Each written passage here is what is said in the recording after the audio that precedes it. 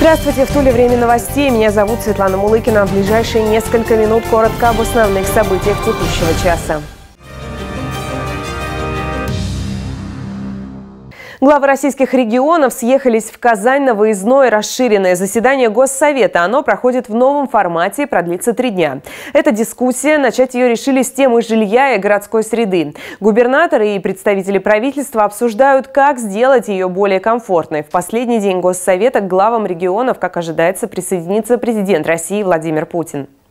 Более 245 миллионов рублей будет направлено на благоустройство дворов и общественных пространств в Туле. Средства выделены по федеральной программе формирования комфортной городской среды. Сейчас формируется полный перечень объектов. Об этом на еженедельном оперативном совещании в администрации доложил директор городской службы единого заказчика Алексей Федосеев. По региональной программе «Народный бюджет» перечень объектов уже сформирован. В него вошли 43 придомовые территории. По программе «Светлый город» э, объем бюджетных ассигнований составляет 7,4 миллиона рублей. Перечень объектов на данный момент сформирован, соответственно, сейчас готовится сметная документация для проведения аукционных процедур.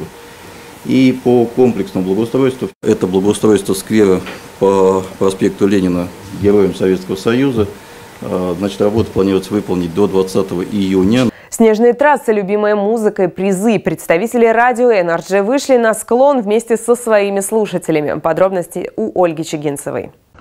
Подготовка к старту начинается задолго до соревнований. Впереди несколько часов катания на горных лыжах и сноуборде. Спортсмены и просто любители зимнего экстрима подготавливают свою экипировку и разогревают мышцы перед началом гонки, чтобы свести к минимуму риск получения травм. За моей спиной вы видите стартовые ворота будет одновременный старт трех участников. А, аналогия с, со ски и бордер-кроссом но здесь все будет э, носить увеселительный характер. Будут одновременно стартовать и лыжники, и сноубордисты вместе.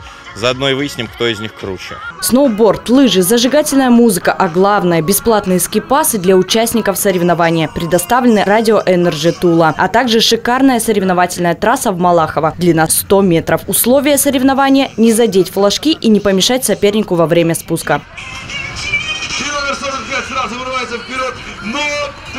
33 поднимайся, дружище, поднимайся. Несмотря на снег, который летит прямо в глаза и падение на трассе, лыжники и сноубордисты стремятся прийти первыми на финиш. Владимир Волев говорит, что принимать участие в подобных соревнованиях – это хороший повод узнать уровень своей подготовки. Сноубордом я увлекаюсь уже больше пяти лет. Э, езжу, катаюсь в Малахово, во все тульские курорты. Вот сегодня был здесь и неожиданно попал на такие соревнования. Погода в этот день не подвела. Выпало много снега, а для лыжных видов спорта это немаловажно. Участие в этих соревнованиях приняло более 50 человек. Все они получили незабываемые эмоции. Ольга Чигинцева, Сергей Давыдов. Новости Тулы. Передвижная приемная администрация Тулы посетила кондитерскую фабрику в привокзальном округе. Там по поручению Евгения Авилова прошло общение с работниками. Какие вопросы волнуют сотрудников предприятия в нашем следующем сюжете?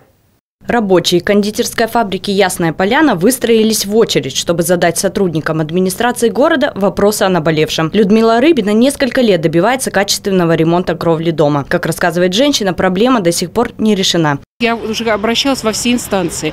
Ее э, ремонтируют. Вот последние у меня мне отчитались о ремонте 2016 год и 2017, но она тут же начинает течь опять. Мы свои пожелания э, довели, до администрации. Надеемся, что их будут выполнять. Каждое обращение принято, контакты заявителей для обратной связи зафиксированы. Большинство вопросов связаны с работой управляющих компаний, оплаты за вывоз мусора, состояние крови или дорог. Некоторые получали ответы на свои вопросы непосредственно на встрече. Я прошу бульдозером разровнять эту дорогу, отсыпать ее щебенкой или шлаком, а, отходом от асфальта, то есть сделать ее более-менее нормальной. Мы с вами по весне выйдем туда, выйдем, посмотрим, что можно сделать. Э, у нас будут улицу Адоевское шоссе в следующем году по программе безопасной комфортной дороги делать. Мы там сможем отсыпать срезкой. Как рассказывает начальник главного управления по привокзальному округу Евгений Пятисоцков, все обращения будут рассмотрены специалистами профильных ведомств. Всего запланировано 10 выездов на предприятия привокзального района. Мы решили провести э, сейчас встречу с крупными предприятиями района и всего города, чтобы э, пообщаться с жителями, понять, какие проблемы есть по весне. Может быть, где-то э, дороги надо подлатать, что-то они хотят, чтобы было понимание, что жители хотят от администрации.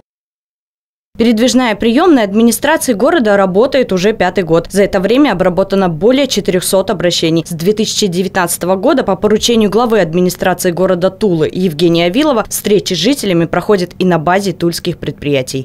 Ольга Чигинцева, Сергей Давыдов. Новости Тулы.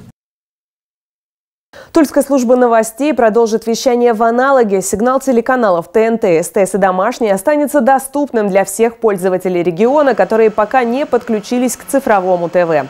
11 февраля Тульская область перешла на цифровое вещание, при этом были отключены государственные передатчики. Частные же передатчики продолжают или прекращают работу по решению их собственника. Это значит, что аналоговое вещание телеканалов ТНТ, СТС и Домашний останется доступным для туликов. Напомню, при переходе на цифровое вещание жителям Тульской области будет доступно 20 цифровых федеральных каналов и 3 радиостанции. Новости и программы Тульской службы новостей продолжат выходить в привычное для зрителей время. К этому часу у меня все. Более подробная картина дня на нашем сайте tsn24.ru.